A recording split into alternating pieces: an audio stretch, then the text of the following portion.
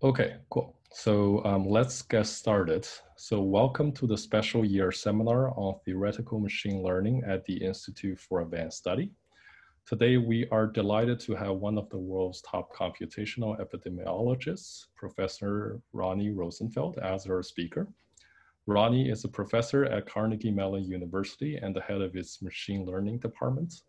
He is particularly known for his long track record of accurate forecasting of the flu. His work has won the CDC's annual flu forecasting challenge in four out of the past five years, and his lab was recently named by the CDC as one of two national centers of excellence for influenza forecasting. Of course, COVID-19 is at the forefront of everyone's mind in recent months, and Roni has been at the forefront of COVID's forecasting since the beginning of the pandemic.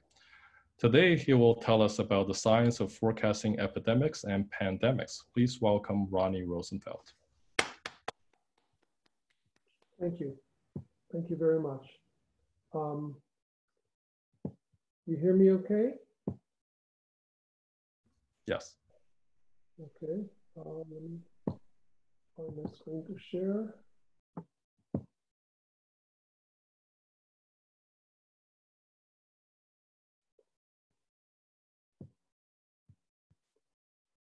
Can you all see my uh, opening page?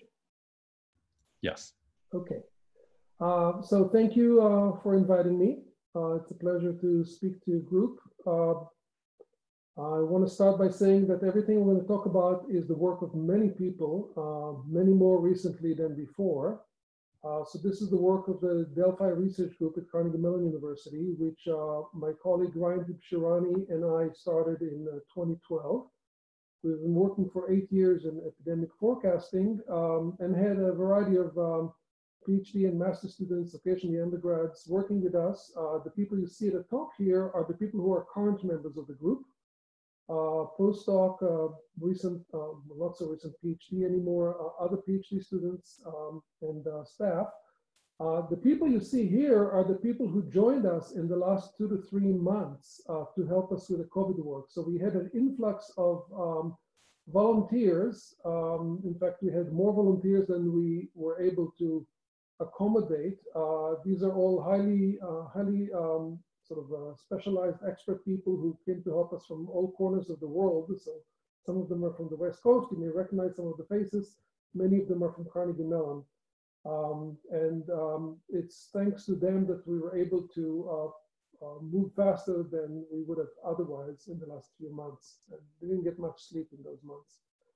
Um, a little word about the paddle here. Uh, until a few months ago, I was giving only talks about forecasting epidemics. The word pandemic wasn't there. And when people asked me about forecasting pandemics, I basically said, I don't really believe in it and I don't intend to do that.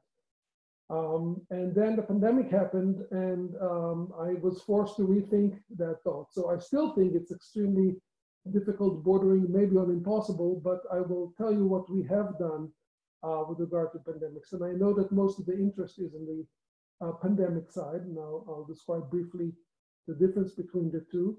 Um, but um, most of my slides are actually on epidemics because we didn't have time to put slides together for a pandemic. So I will try to uh, breeze through the theory of epidemic forecasting and try to get to pandemic forecasting. And I do have a few slides on that and mostly a live demo um, to ground my discussion of that. Um, I do welcome uh, interruptions and redirections. Um, I don't look at the chat right now, but if, um, okay, if you decide that some question is worth uh, posing right away, please by all means interrupt me.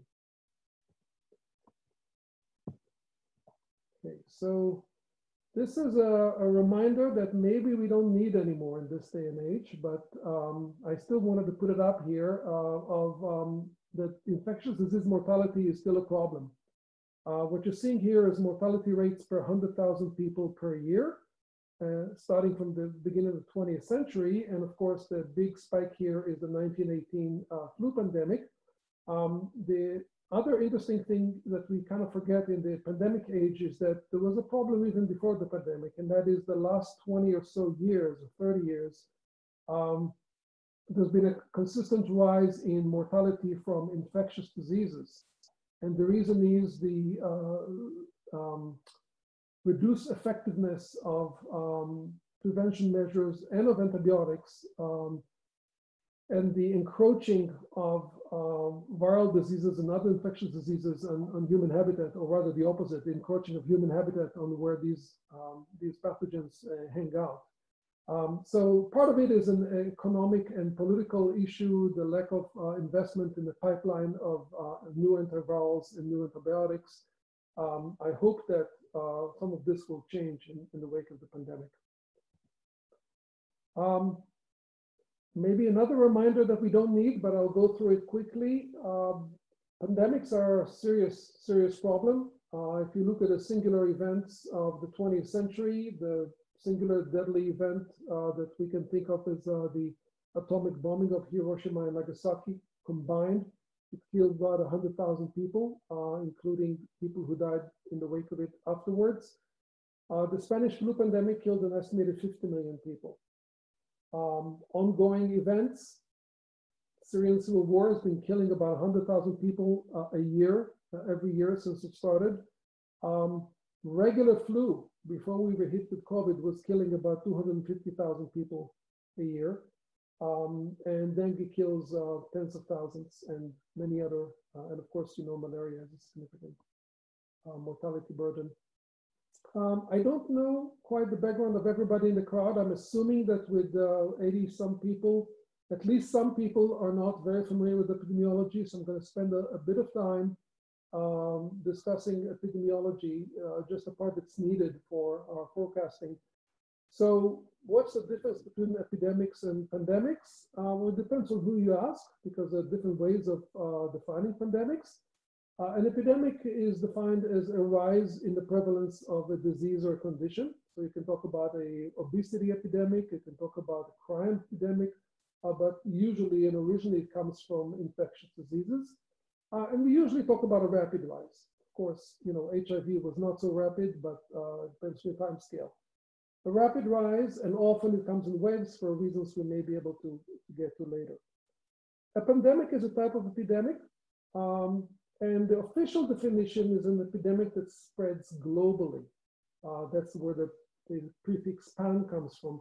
But that really doesn't tell the story because even regular seasonal flu epidemics spread globally. Um, in practice, what pandemic is, is it's, it's an epidemic that is driven by a new pathogen. And the fact that it's a new pathogen has two very important implications. One is that very little is known about it. So we don't know basic things like its modes of transmission, its inherent transmissibility, uh, its mortality rate, um, things that we, we wish we knew right, right from the start, and some of them we don't even know right now for, for COVID, uh, surprisingly enough, even three months in.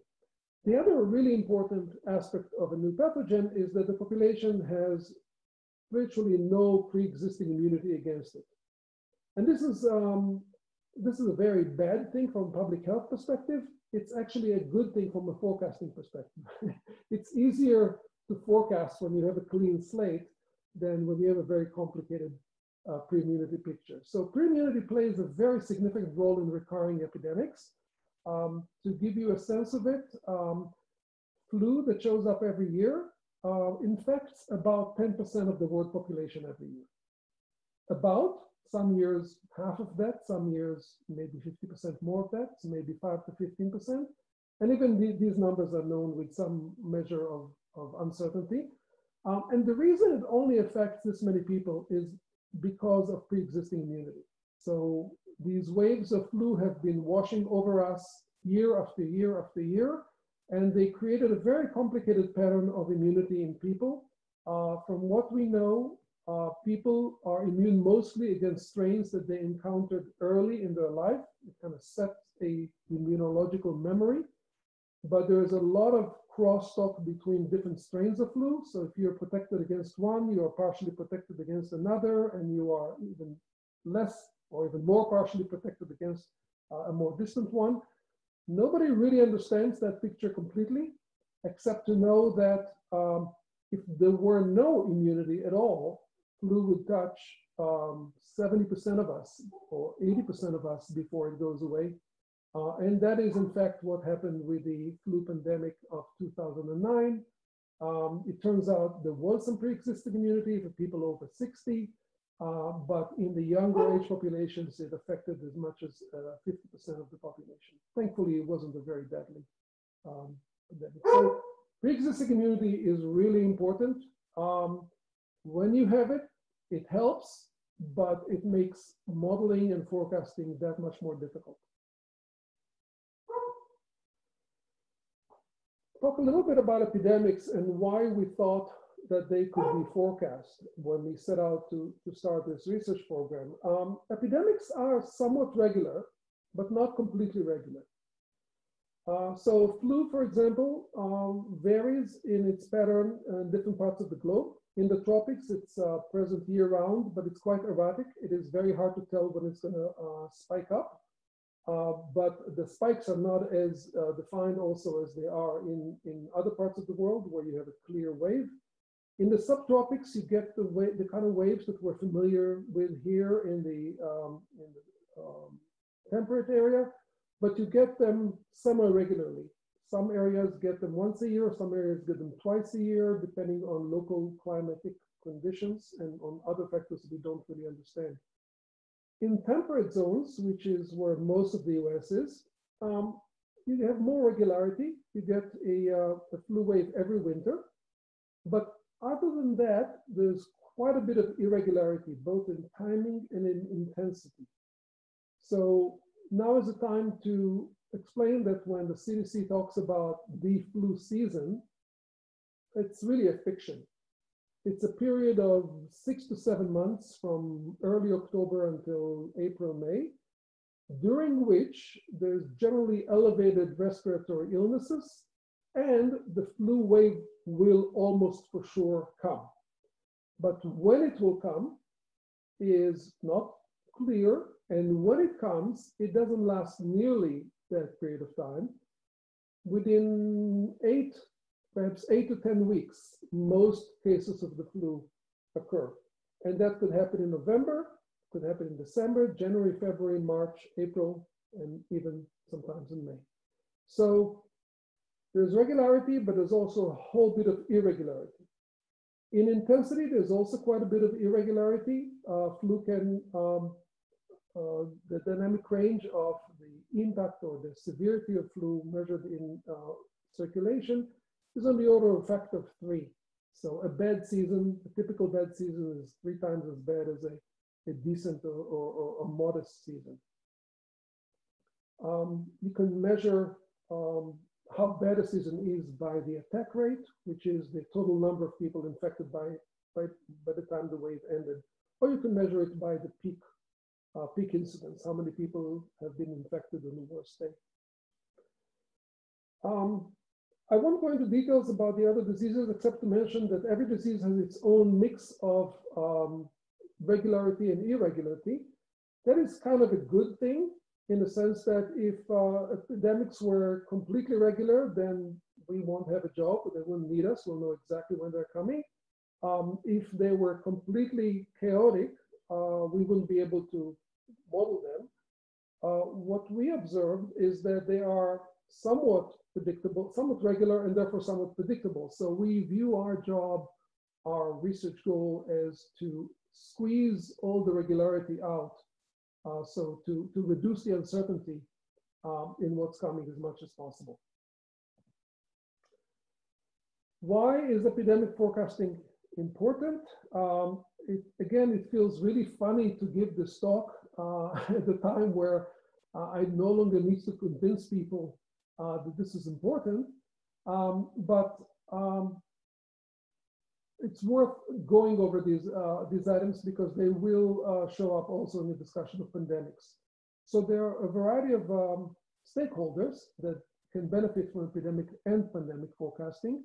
Uh, first of all, there's governments, and I mean at all levels, federal, state, city, county, um, you know, all throughout the world.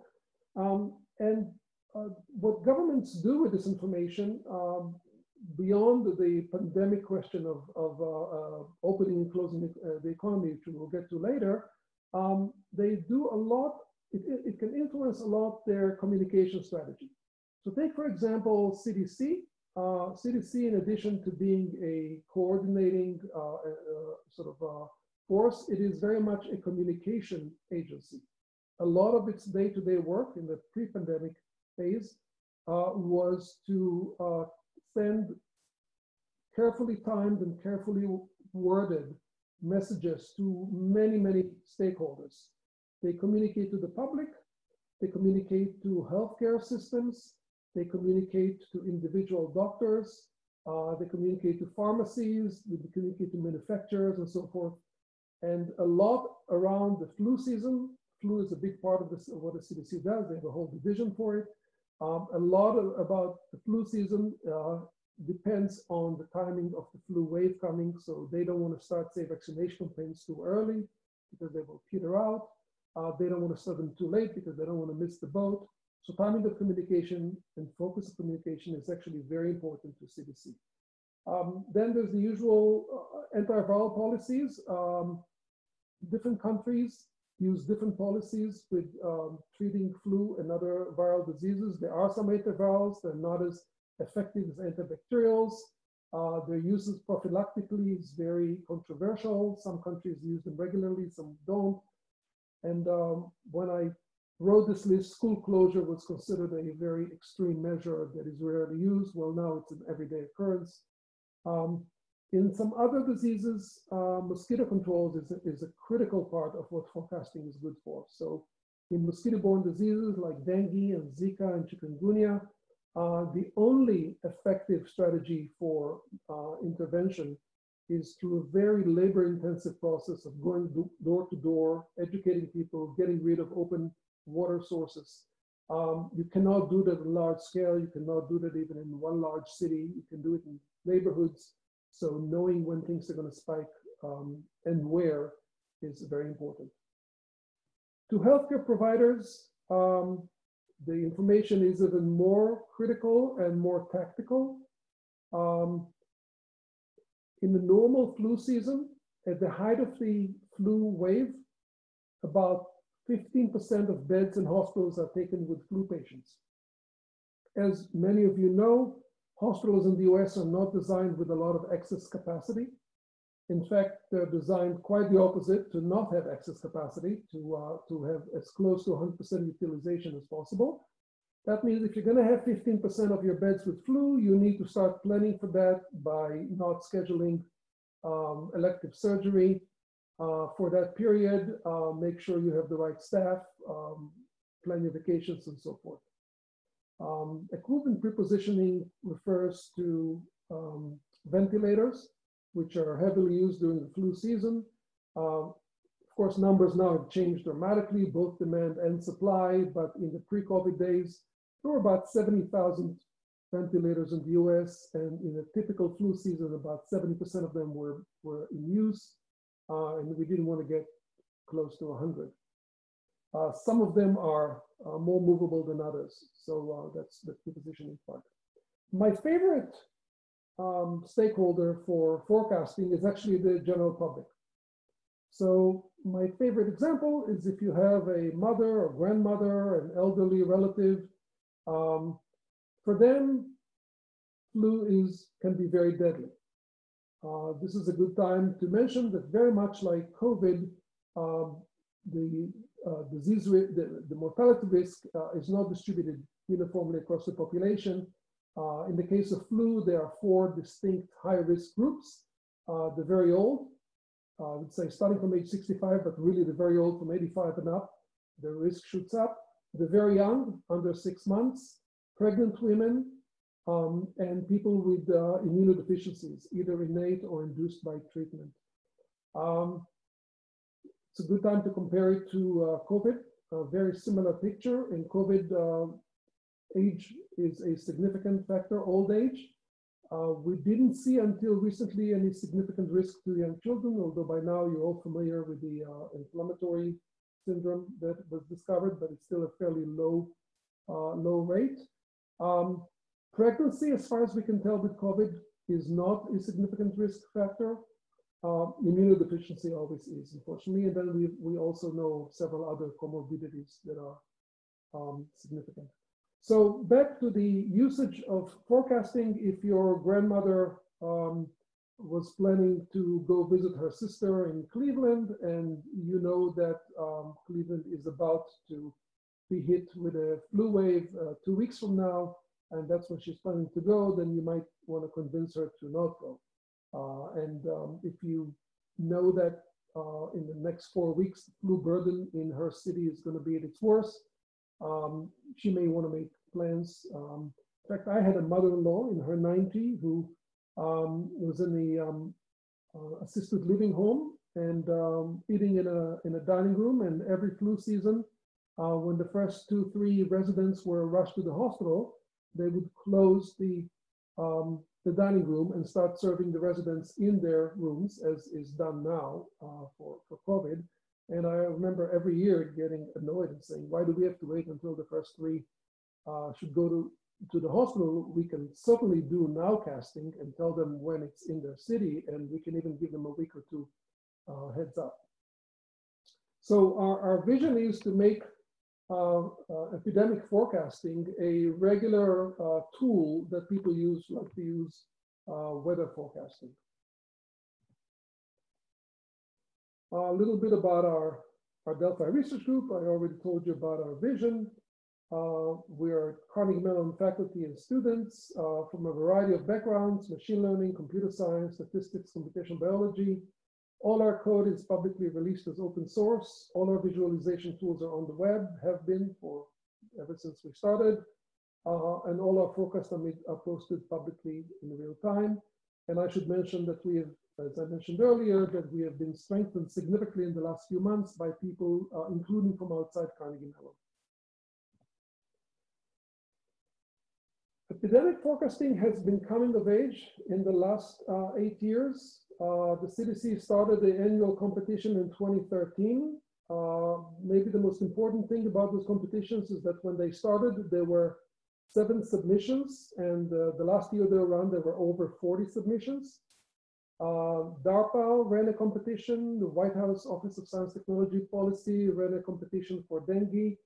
Um, perhaps uh, the most important point is in 2017, uh, the CDC, sorry, the CDC started incorporating flu forecast into their regular weekly updates to their leadership and to the public. So that indicated a maybe a psychological shift. Until then, they were just playing with us in the backyard, seeing, you know, trying, testing it out, seeing if it's reliable enough. In 2017, they decided it's good enough uh, to become part of the regular offerings. Um, I think Kay already mentioned that they established two national centers of flu forecasting. We were fortunate to be chosen to be one of them. University of Massachusetts Amherst is the second one. Um, and then 2020, all of a sudden we found ourselves in the in the floodlight. Uh, all of a sudden, everybody everybody cares about what we do. Um, types of epidemic forecasting. So the first type, and the one that I'm trying to rush through to get to is the pandemic forecasting, the kind that I told you I don't believe is possible. Um, but let's talk a little bit about the other types of, um, of forecasting regular epidemics. Uh, the one type that I often get questions about is cross-season forecasting. Uh, one of the most important things we can do is if we can forecast the dominant strains of flu next season, and if we can do it at least nine months before the season, the, before the wave arrives, then we can be sure that the vaccines we develop have a good match. Uh, right now, the sort of uh, track record of matching the strain is okay, 70, 80%, uh, but it's 70, 80% because you know the flu, the dominant flu strain only changes every three or four years. So if you just choose the strategy of, of don't don't change, uh, you will get very close to that. Um, we have not tried to beat that. Uh, it's pretty hard to do, and um, I, I, can I can talk about during Q and A. Most of our work was within season, and within season, uh, you can um, think about multiple um, uh, sort of types of forecasting. You can th think about nearcasting, which is probably, which is basically short-term forecasting, forecasting for the next few weeks. Uh, you can try to forecast the rest of the season, including answering questions like when will the peak arrive and how bad will the peak be and what will the attack rate be when it's all over. But uh, one thing you need to do before you look at the future is look at the present and the past. And that's what nowcasting and backcasting are about. So this is something that it takes a while to appreciate the, the difference between epidemic forecasting and say weather forecasting. In weather forecasting, the past and the present are not a problem in principle. Uh, they can be measured and they are measured. Uh, of course, it's a big logistic operation. There's a 3D grid all over the planet that sends continuous measurements of temperatures and wind and humidity and whatnot. Um, and that's, uh, it took many, many years, maybe decades of collaboration between governments but it's pretty much a solved problem. We can measure whatever we need for, uh, for weather forecasting about the past and about the present, and we can focus only on the future, on how the past and the present lead to the future. Not so in epidemic forecasting. In epidemic forecasting, there's a very significant amount of uncertainty about the present. Nobody really knows how many people have COVID or flu, for that matter, uh, on any one day or any one week in any one city. And probably nobody will know for sure in the future either. And even in the past, we have a fair amount of uncertainty. So this is what this uh, image um, is trying to capture, that uncertainty in epidemics and epidemiology is, um, of course, greater in the future, but it's really quite significant also in the past and the present which leads to differences in um, methodology and technical approach to forecasting epidemics. So a lot of our work focused on what we call nowcasting, on trying to estimate as accurately as possible the current state of any epidemic um, in any location, and by extension also to uh, backcasting. Um, and that estimation is not a point estimation. Uh, we're really talking about distributional estimation, so assigning sort of the uncertainty or whole distribution to what we think is happening here. And because um, epidemics are dynamic uh, time processes, we're really talking about distribution over trajectories.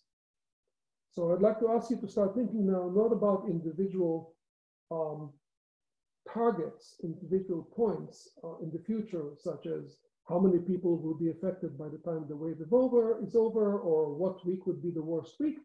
But in terms of trying to um, project or forecast an entire trajectory, and that means from the past through the present to the future. And of course, this is a latent variable, so there's a whole distribution of trajectories here, and we want to extend the distribution of trajectories into the future. I spoke a bit about targets uh, there are lots of different things you can try to forecast.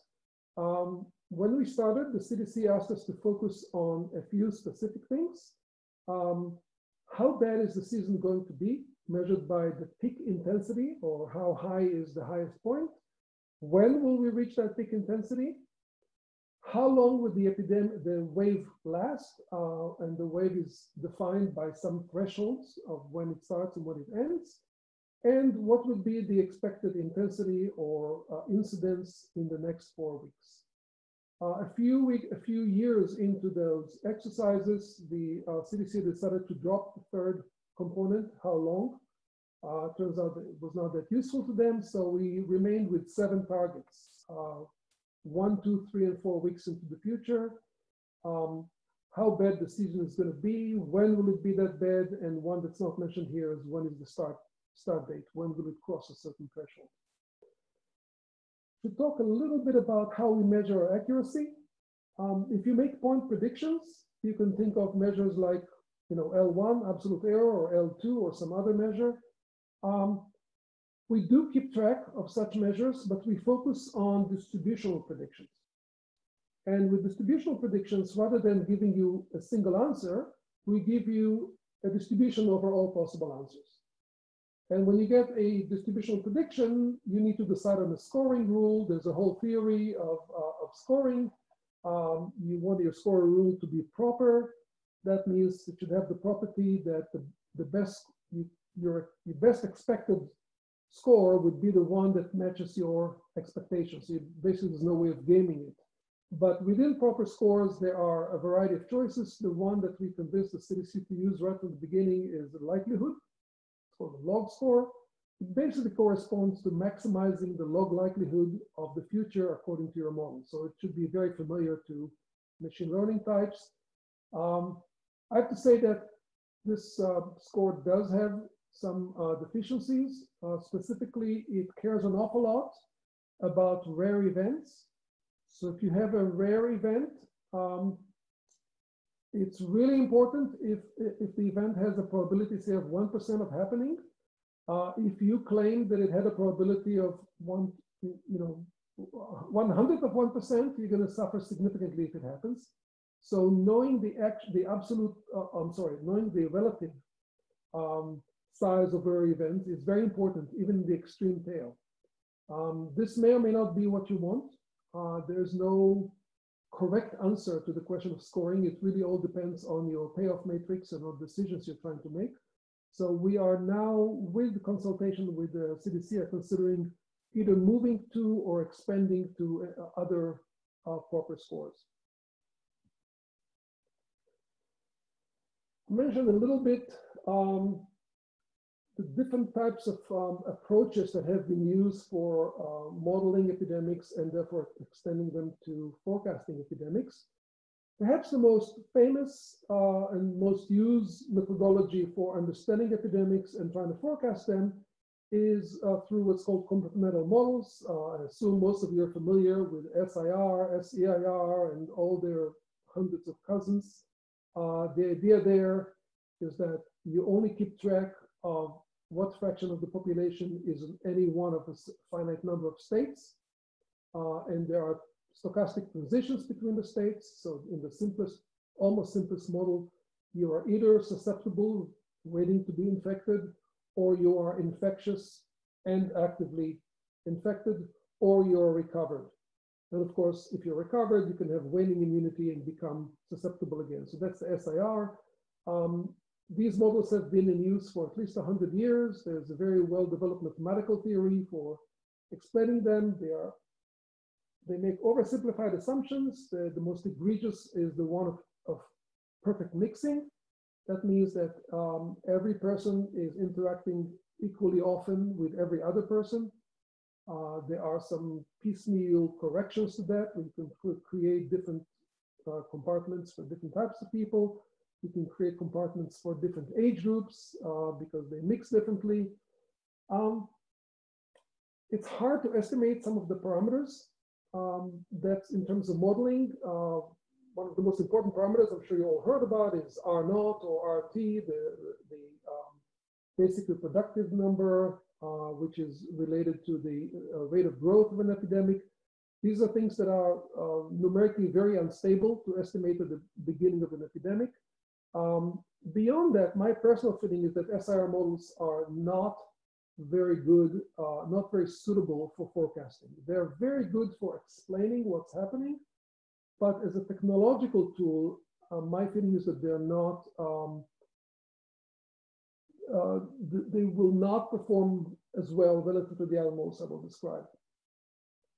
Um, most forecasts you find out there on the web now are SIR models when you, when you look deep at them. And, and, and they can be fixed in a variety of ways. We could talk about that, but um, the underlying perfect mixing assumption is just a very unrealistic assumption.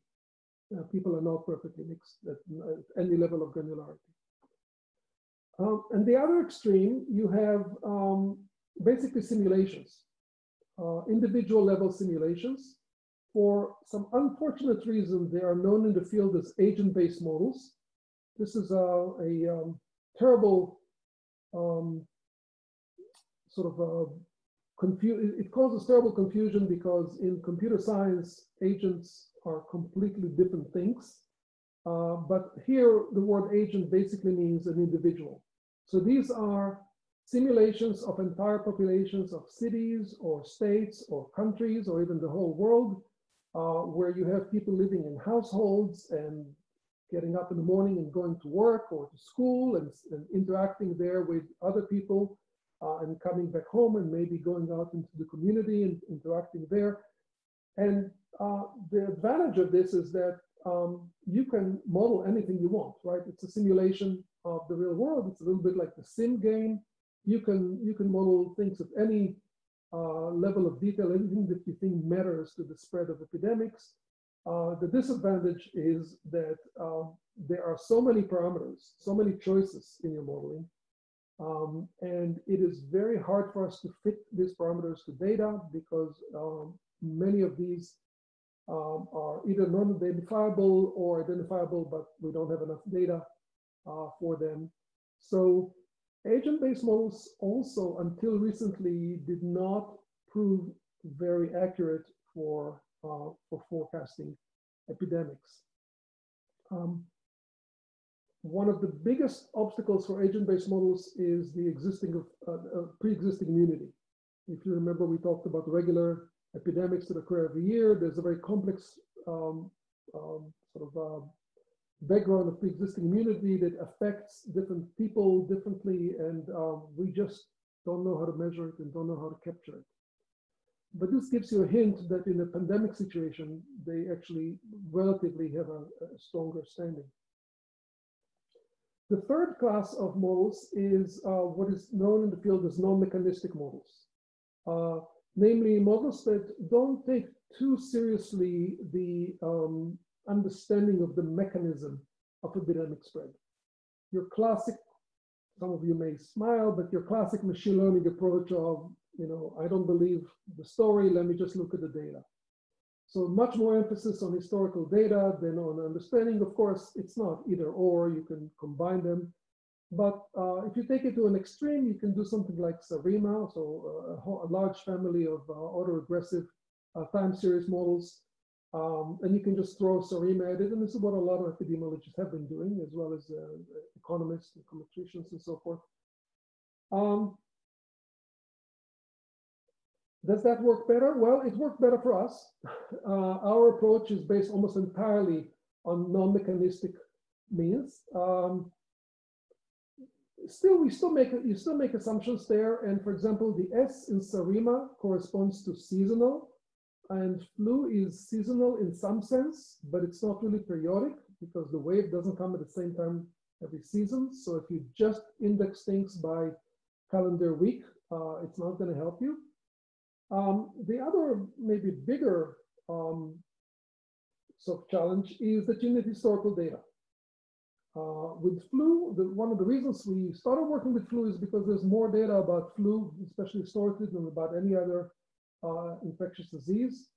Um, but of course, when you have a pandemic situation, you get stuck. And uh, we did get stuck. We'll get to that. Maybe the most interesting approach is the last one, uh, which was introduced to the field um, more recently, um, and that's data assimilation methods. So the, the weather forecasting uh, field is discovered a long time ago. Uh, what they do basically is they believe the theory, but only up to a point. So in fact, in the case of weather forecasting, uh, the theory is not very not non-controversial. You have Navier-Stokes equations that basically drive everything. Um, the um, fact that they're not perfect is not because the theory is not perfect, it's because the measurement is not perfect, there's chaos uh, involved, so they need correction. In the case of um, epidemic modeling, you can start from your basic equations, but the basic equations themselves are not perfect. But either way, uh, you don't get very far with the theory by itself. Um, but what you can do is trust the data, but keep adjusting your models to it. So Kalman filters kind of do that, especially ensemble Kalman filters, where you have a large number of Kalman filters, each parameterized slightly differently. Uh, particle filters is, a, is a, a, a technique for uh, keeping track of a distribution and um, allowing yourself to inform it uh, not only by current data that you're simulating, but also by changes in your parameters that you're treating as if they were data, sort of the basic approach.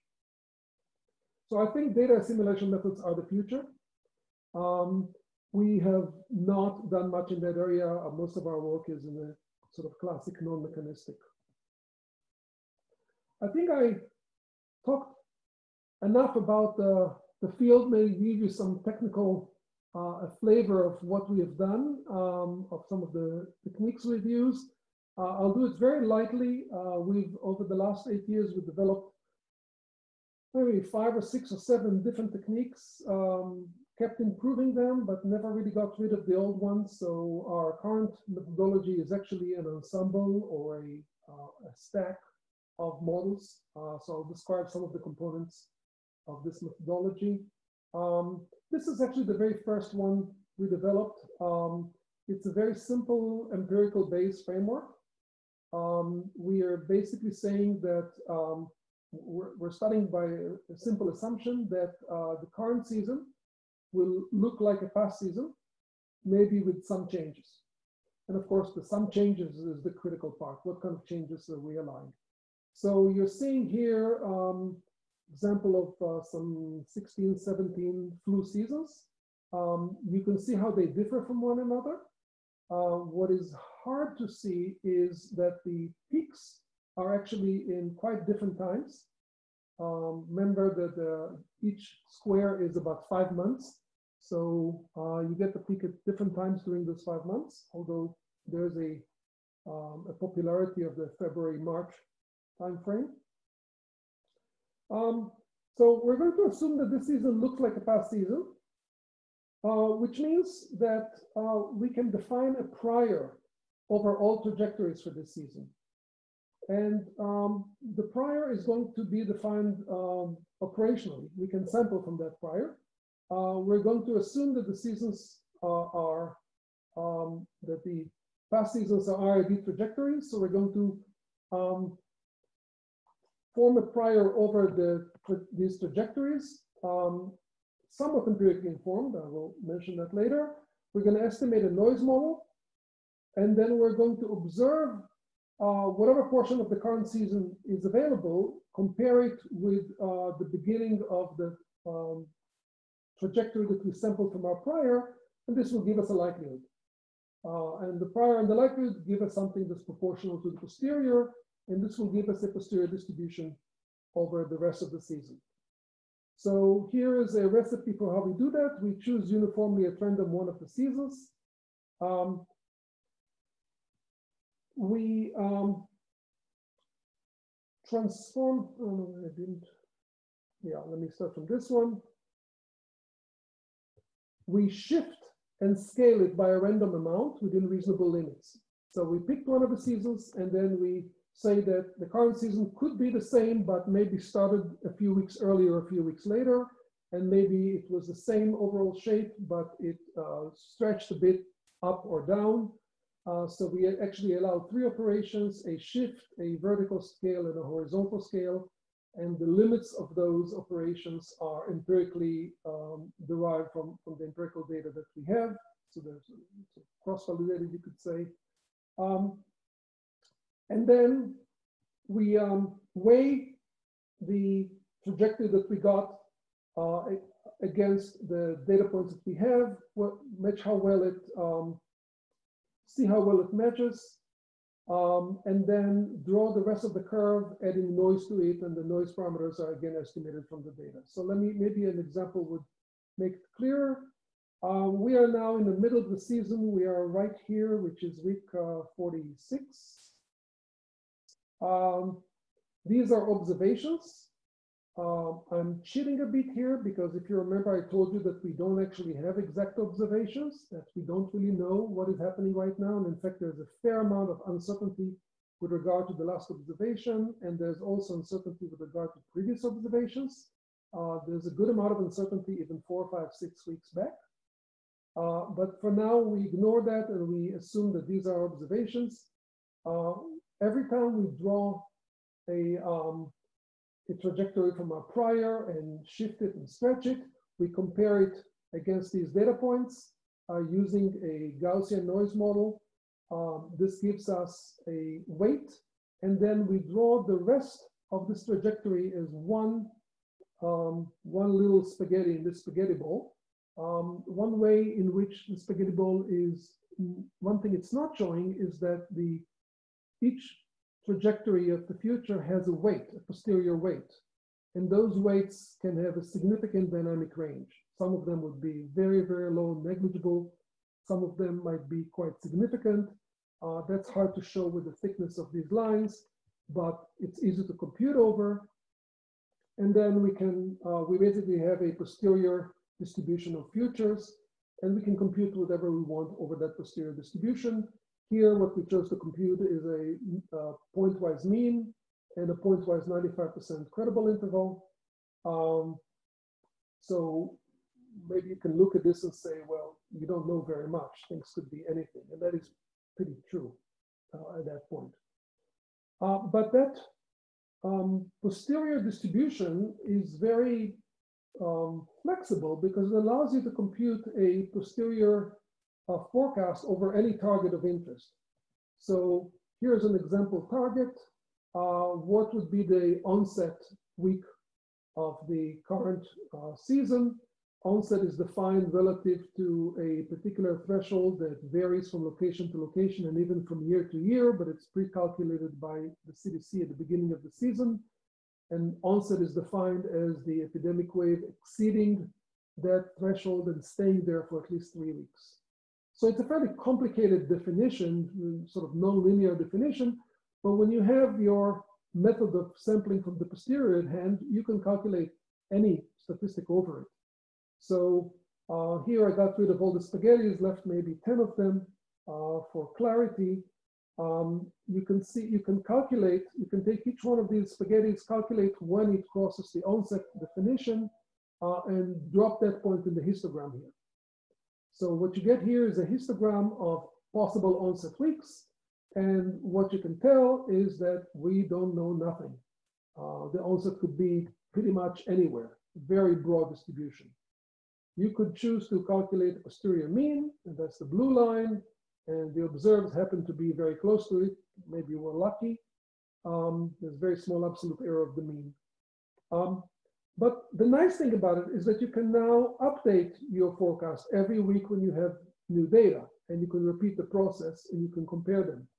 So here's a week later, same process. We draw 100,000 uh, priors, convert them to 100,000 posteriors, convert them into a distribution. And uh, you can see how your uncertainty goes down. Um, and uh, now you can start saying something meaningful about when, when the onset might be. You're basically quantifying your uncertainty.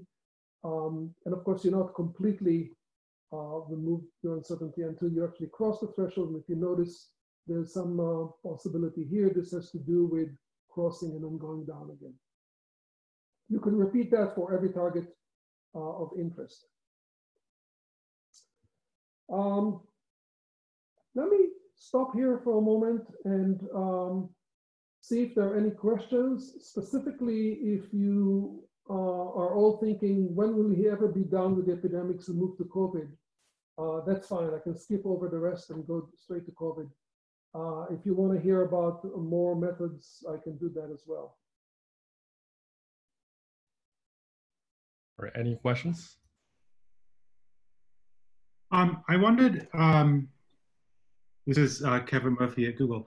I wondered if you could mention briefly a bit more about the data assimilation and how it connects, how, you know, how they, you combine data with mechanistic models. You said you think it's the future, right? And I know like Kalman filters are applied to linear Gaussian state space models, which doesn't sound like a good fit for the mechanistic mechanisms you have in mind.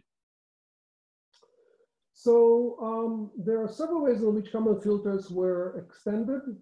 Uh, um, uh, one is to uh, approximate the linear uh, process model. Another is by adding um, ensembles. Uh, and the ensembles uh, vary over not just the state space, but also the parameters of the model. So I'm actually describing here work of Jeff Shaman at the Columbia University. Uh, we have not mm -hmm. done that.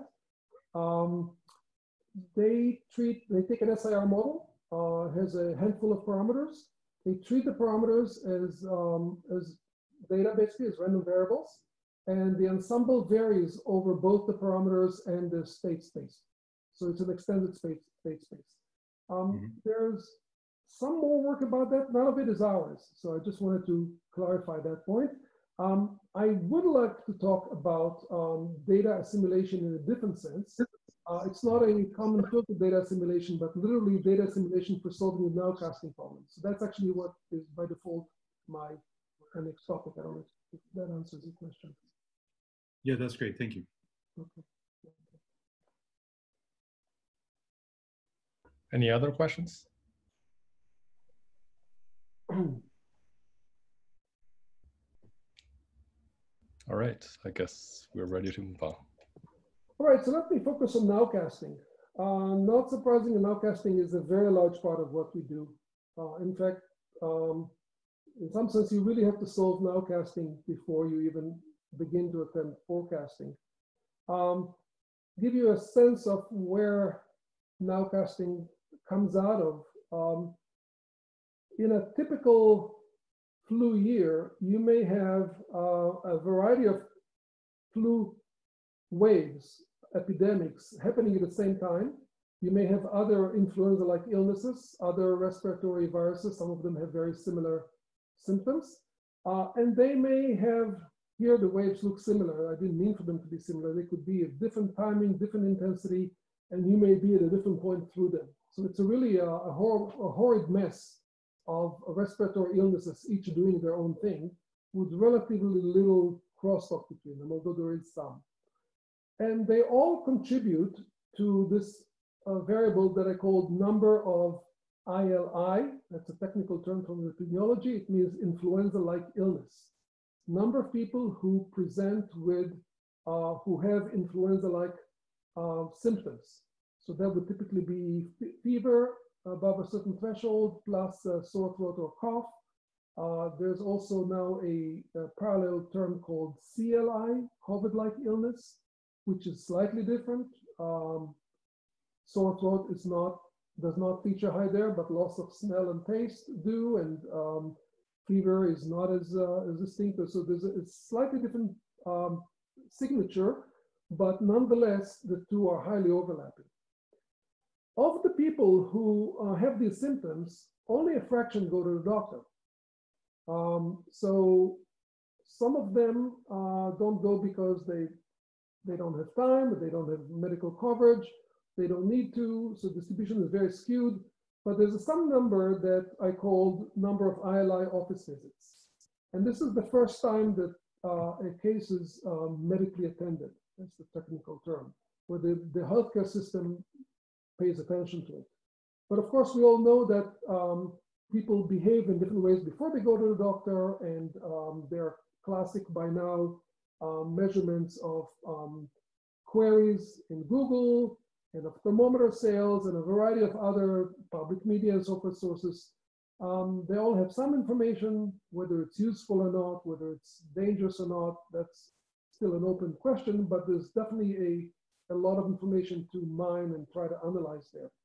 Um, following on this, um, I should mention that people who go to the doctor for flu don't usually get tested for flu. So the fact that they were seen by a doctor does not mean that you know whether they had flu or not. And remember, you do want to know if it's flu or not, because flu is much more deadly than uh, other respiratory illnesses that may look the same. Um, only some fraction of them get to the hospital either from the doctor visits or directly to the emergency department. Uh, of those who are hospitalized, some fraction become respirated. Of those, some fraction die. It is eerie to think how familiar this picture is now to people. I, I drew this about eight years ago and had to spend a lot of time explaining it to people, but I think now it's like bread and butter. Everybody, everybody knows this trajectory. Um, so our goal is to really use whatever is measurable here and to go back to here, to the height of this, and do this for the past so that we can continue that line. So that's a, a formidable goal. Um, traditional surveillance is very insufficient for accurate nowcasting. Uh, traditional public health surveillance, which is very important, very, very useful, uh, is not really designed for real-time full understanding of uh, disease severity. It has built-in um, uh, latencies that are there for an important reason because there's a whole theory of how you check cases and trace them and verify them and so forth. Um, but um, what you're seeing here is a very typical difference in estimation of uh, percent of doctors who have uh, who percent of doctor visits that are due to ILI, due to influenza-like illness, and um, these are measures of the same thing except um, one week apart. So at the end of week epidemic week three of 2015, actually in, at the end of epidemic week four of 2015, CDC publishes the first time its estimate of um, uh, the percent of ILI for week three. Uh, and it also updates its estimates for week two, week one, and previous year. And then a week later, it publishes this, and the differences are quite severe. So this is where digital surveillance comes in more handy. It has far less uh, latent latency, although it, it does have some. Um, and it, it cuts out the one to two weeks that the first data points from uh, public surveillance are available. Uh, this is the list of um, digital surveillance sources that we have used in our work. Google was kind enough to share with us their um, uh, Google Health Trends interface, which is not publicly available. Um, Twitter signal we got through collaboration with a group at Johns Hopkins, healthtweets.org. Uh, we scraped Wikipedia pages ourselves, are continuing to do that, and uh, CDC provided us with the uh, access statistics for uh, access to CDC's own pages about influenza. Uh, and there were a variety of other sources that we had on and off.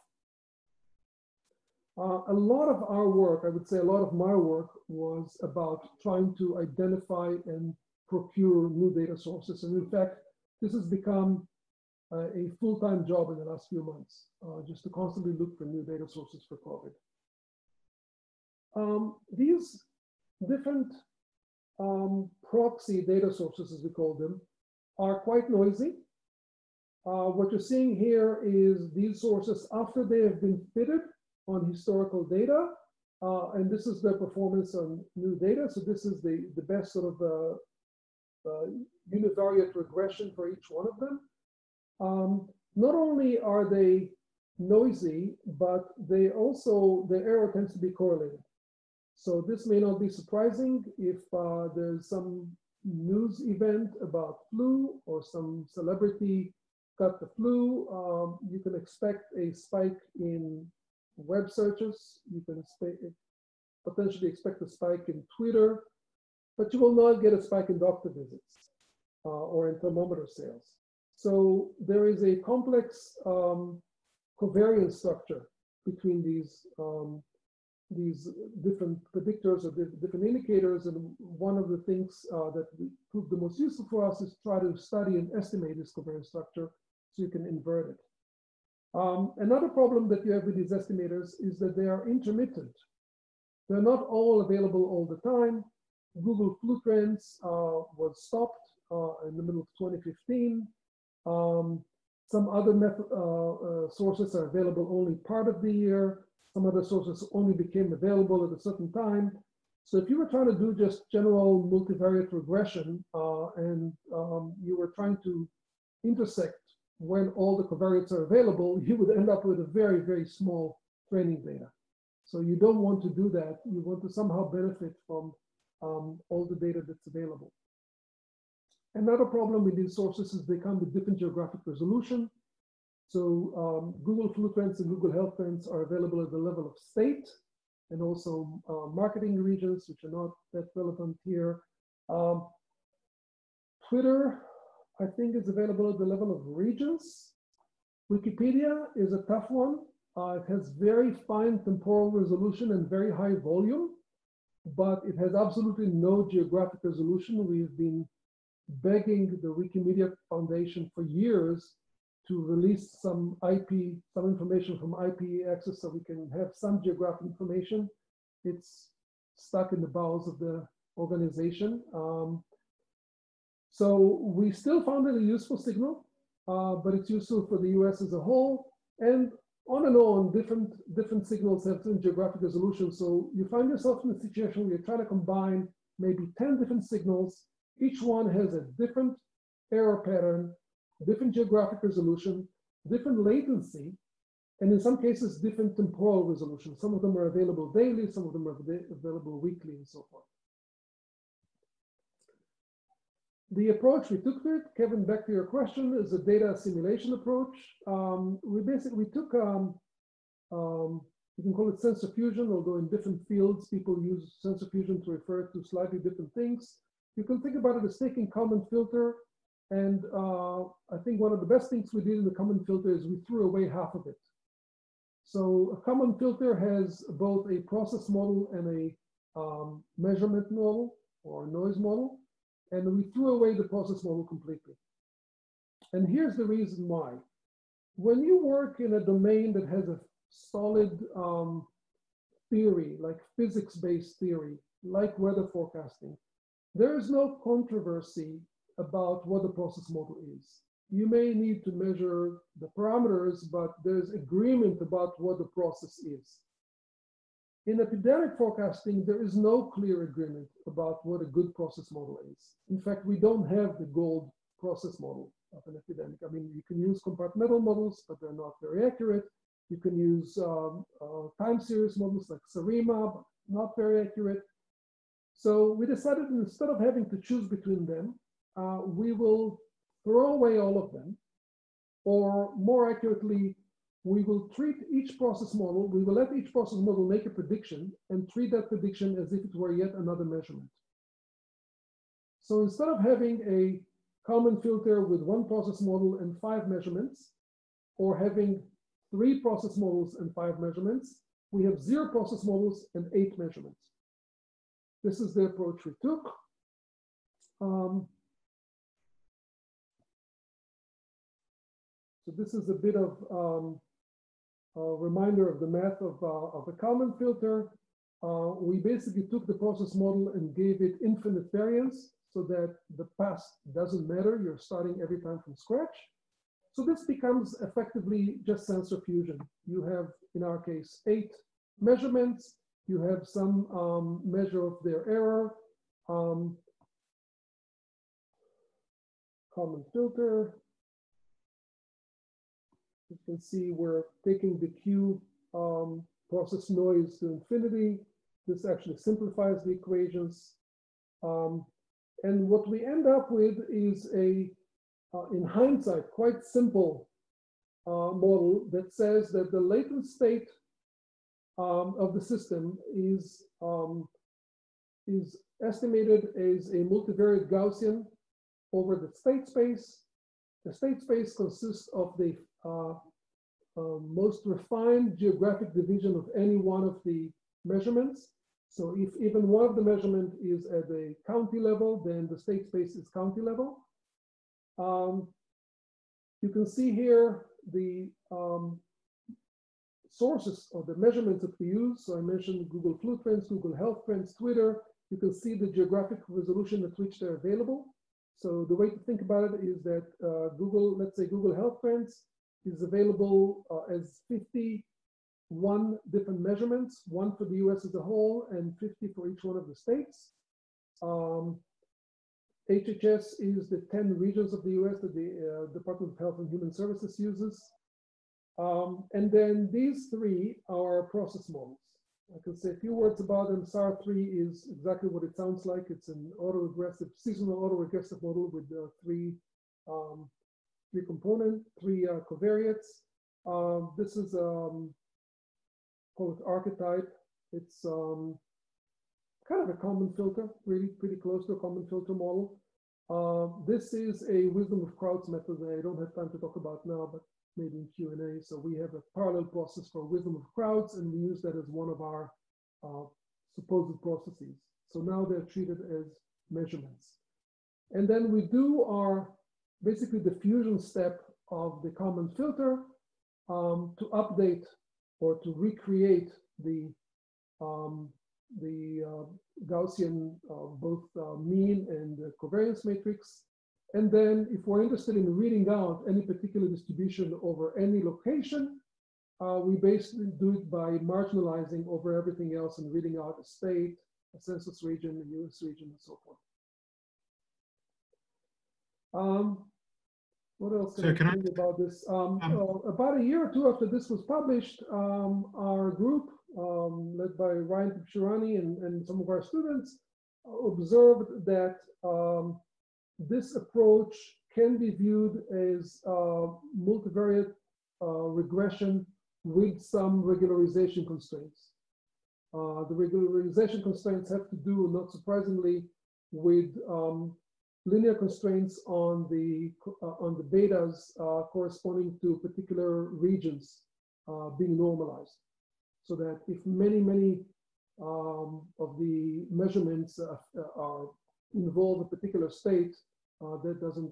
Uh, so, so it's a constrained regression problem, not a regular regression problem, and that was published as well. I hope I have a citation here. Kevin, I thought you had a question there. Oh yeah, here it is. Uh, this is the um, um, derivation of the equivalence to um, multiple linear regression with, with constraints. Um, yeah, my question was on the relative weights, how important the different data the different data sources are. So in Kalman filtering and presumably in the in the weight regularized regression, each data source has a certain amount of importance. Are they learned or set by cross-validation or equal? They're learned. They're learned, and um, as as usual, the weights don't tell you necessarily the significant the, the impact of, of withdrawing them, right? Because there's collinearities. I can show you ablation experiments later where we took out one source at a time, and you can see that all sources are not equal. Some of them are much more important than others. Oh, this is exactly what you're showing here. This is perfect. Yeah. So you do the full matrix? I'm sorry? This is the Do full matrix, yeah. this?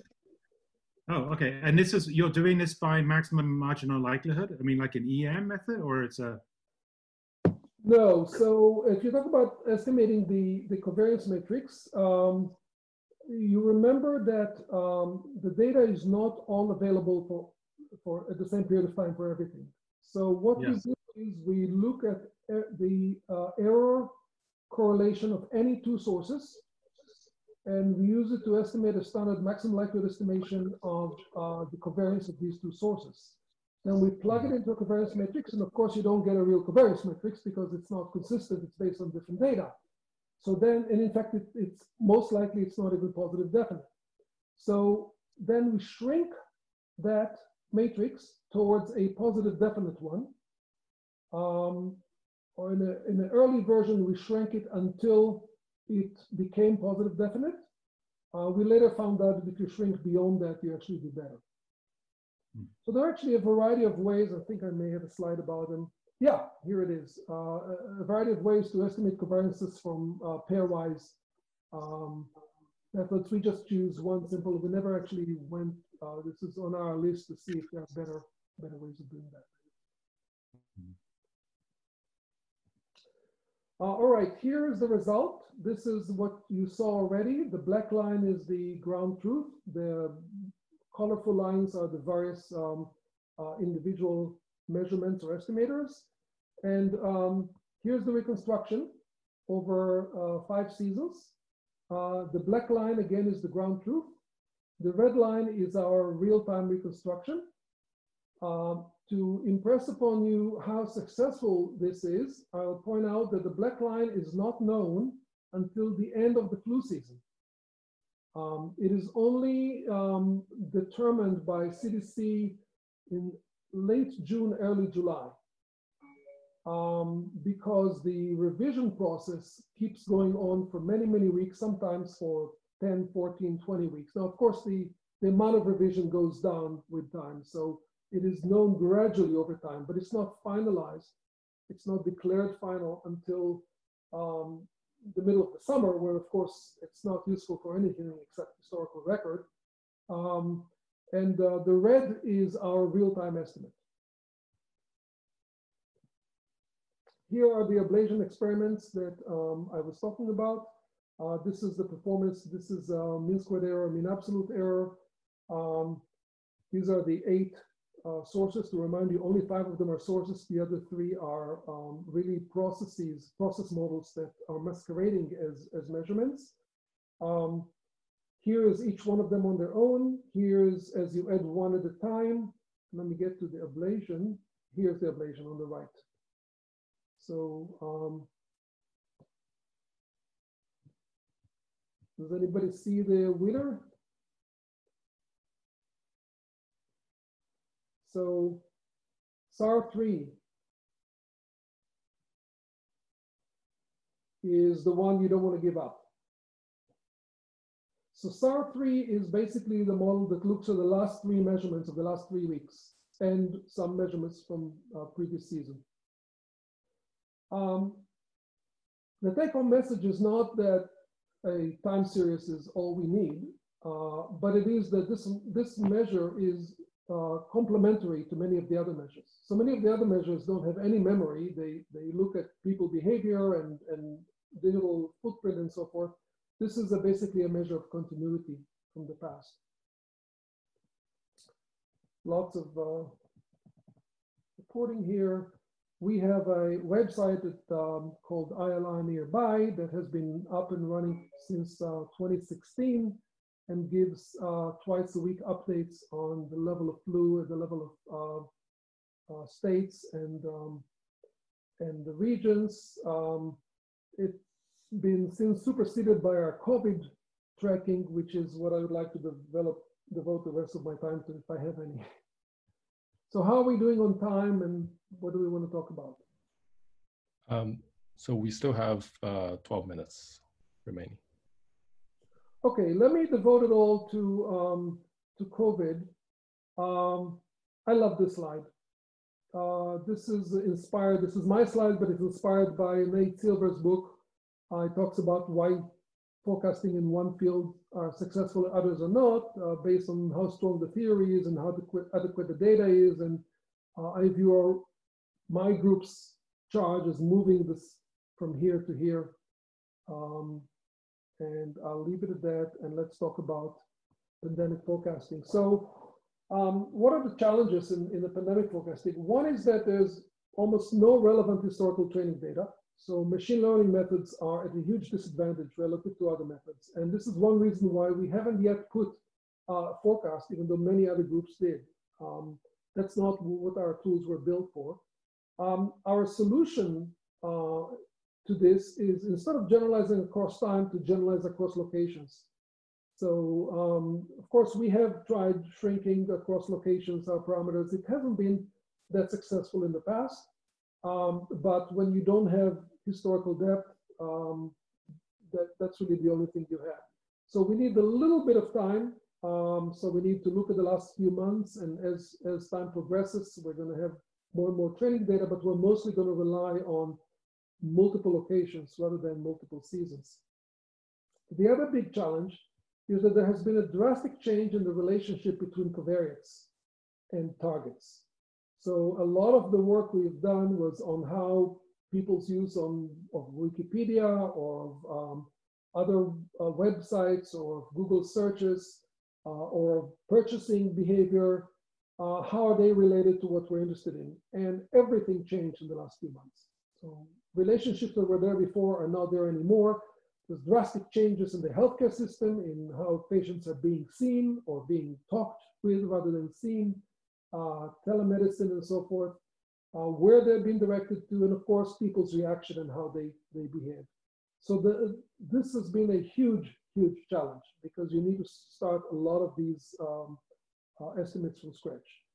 The silver lining of all of this is there's a tremendous amount of goodwill during the pandemic crisis situation. So we, I already mentioned, we have a huge number of volunteers, um, data providers. I spent a lot of my life, the last five years, begging, stealing, I don't know, but definitely begging uh, for data. Um, and it's a very slow and difficult process, especially if you don't have millions of dollars to spend on it. Um, this has changed a lot of data providers are now either coming to us or are, when we approach them, are extremely cooperative, pro bono, uh, and going way out of the way to give us data. And even the last obstacle, the lawyers negotiate the data use agreements and the restrictions and all that, go well out of the way to do the work quickly and impose minimal restrictions. So as a result, we were able to secure access to many data sources in the last three months that I wouldn't have dreamed to be able to do in, in, in five or 10 years. Um, a bit about our, the strategy we, we charted for uh, forecasting uh, COVID. Um, the first one is the nowcasting part. And we can't even do nowcasting because nowcasting implies some kind of supervised learning to learn the current state. Um, I guess it doesn't even have to be supervised, but you have to have a notion of what the ground truth is so you know how good your nowcasting is. Well, we don't have a ground truth. Nobody has a ground truth. Nobody knows the ground truth. And I think it's going to be a long time before any kind of ground truth will emerge. Even the most basic, supposedly clean things like how many people died of COVID are not that simple. And there's a fair amount of disagreement over them. So uh, our response to that was to back a little bit away from claiming nowcasting and instead to talk about indicators. Building a set of indicators, process covariates that show promise, that show a significant relationship to the reality of COVID at various levels, um, and just leave it out there for other people to use and draw their own conclusions as well as a starting point for our own forecasting work. And I will show you in the remaining time the site that we built with our indicators. The second part of our strategy is regarding forecasting itself. And here we decided to focus on what matters for decision making. We felt early on that the targets of importance are the demands on hospitals and specifically on ICUs and ventilators, because these are the bottlenecks of our healthcare system. And in the uh, difficult decisions that lie ahead in the coming year on whether how much to open the economy and whether to reclose it and so forth, um, the eyes should be on the target. And the target, in my mind at least, is uh, the bottleneck of the healthcare system. Because once you have no more ICU beds, and we're not talking only about beds, we're talking about the equipment that goes with it and the nurses that go with it and the trained personnel, pulmonologists and respiratory therapists and the whole ecosystem once you uh, overwhelm them, your, your death rate is going to shoot up considerably. Uh, and that would happen with ICU before it happens to overall hospital admission. So there's some elasticity in the system. We've noticed in the last three months that the system capacity has grown, but it's still the bottleneck. So this is what we're focusing on. The second uh, part of our um, sort of strategy is to focus on local decision making because we feel that again in the coming 12 months or so, these decisions will have to be made at the local level. And by local, we mean either county or above county, metropolitan area level, hospital referral region level, uh, which is the level at which hospitals can easily transfer patients and so forth. And the third decision we made was regarding a time frame. Uh, we decided to go for a four-week time frame. Uh, CDC has asked us to try to expand it to six weeks. Um, I'm not confident that we can do that with any degree of sort of reliability and accuracy, but we can try. We felt that four weeks is a reasonable compromise in terms of feasible uh, for our models to give relatively modest uh, uncertainty bands uh, for four weeks. And at the same time, four weeks is uh, actionable in the sense that if you give decision makers a heads up that they are going to exceed their capacity with a, a decent likelihood. Um, in four weeks, they can still take action now uh, that will affect what happens four weeks from now. It may not affect what happens in the next two weeks, but it will affect what happens in four weeks. So this is what we settled on. Uh, we're still in the process of working on our forecast. There are lots of technical and logistic uh, issues, some of them having to do with where do you get your numbers to validate your forecast. There's tremendous amount of uncertainty about uh, especially hospitalization data. Uh, it's very hard to come by. But let me use um, the rest of the time to show you um, what we have done so far for developing indicators. So let me um, move to, do you see a beautiful map of the US?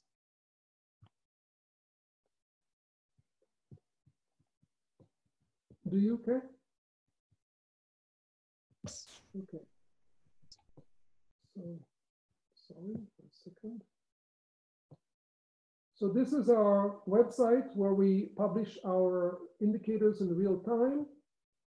Um, it is called COVIDcast. Uh, these are, as you can see, they're called indicators. Um, first one is based on uh, outpatient visits. So uh, it measures the percentage of doctor's visits that are due to COVID-like symptoms uh, in any particular county. You can click on a county and get a uh, time picture. You can load more time and see basically the beginning of the um, of the pandemic period. Uh, you can. Uh, we only provide estimates when we have uh, sufficient data. Uh, if we don't, we lump all the remaining counties together and call it, in this case, rest of Minnesota. Um, you can look at the metro area picture.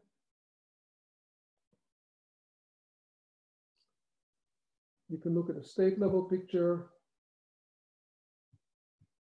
You can play a movie uh, over the last so many days. Um, you can look at trends. You can see which states uh, things are going up or going down. And then uh, I'll mention a few more words about the other sources. So Facebook was gracious enough to allow us to put our uh, survey on their platform. As a result, we're getting about 150,000 survey answers every day. Um, and we're using them. Uh, so the surveys are actually, they're, they're um, optional surveys. You can choose to, um, to, to um, answer it or not. Uh, we do encourage you to answer it even if you feel well. We explain that that's helpful as well. Of course, uh, we are aware that there's a selection bias there. We do uh, correct for that. Um, we have um, multiple questions there, but there are two that, that we found particularly helpful. One is, um, is there anybody in your household that have COVID-like symptoms? And we define what the symptoms are. We use that together with household information and demographic information to estimate prevalence in the population. And this is what you're seeing here. And then a different question that we ask is, um, do you know of anybody in your community uh, who has these symptoms? And the answer there is different and is not surprisingly uh, larger. Um, it's interesting to see, you know, when they agree and when they don't. Uh, we also retuned our Google Health Trends. Uh, originally it was for flu, but we've uh, retrained it on Google uh, on um, COVID-related searches. We had um, several other indicators here. One of them we had to suspend temporarily. The other one we had to retire. It had to do with uh, a measurement of flu testing. Turns out flu testing in um, February and March was a pretty good indicator of COVID activity because there were no COVID tests around and doctors were using flu tests to basically rule out flu. Uh, they don't do it anymore because flu is almost non-existent now. It's down to off-season levels, but we're going to uh, put in COVID testing uh, in the next few weeks. Another uh, indicator that we added literally yesterday uh, is called Combine.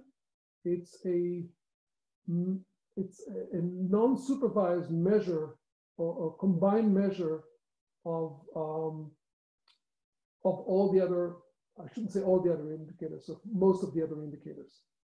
And uh, as uh, convenience, we also include um, case ratios and death ratios um, mirrored straight out of Johns Hopkins.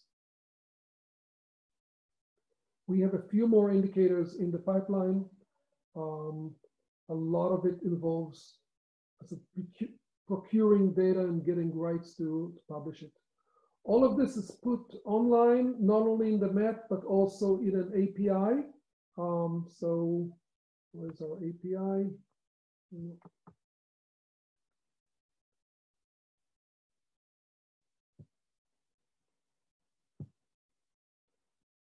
So we have some explanation of the sources and of our methodology, and um, we have uh, COVIDcast endpoint of our API. It's all on GitHub. Um, so there are many more sources in the through the API than on the map. And I will go back to the beautiful map and stop for questions. All right, uh, let's thank Roni for the eye-opening talk. Um, are there any questions?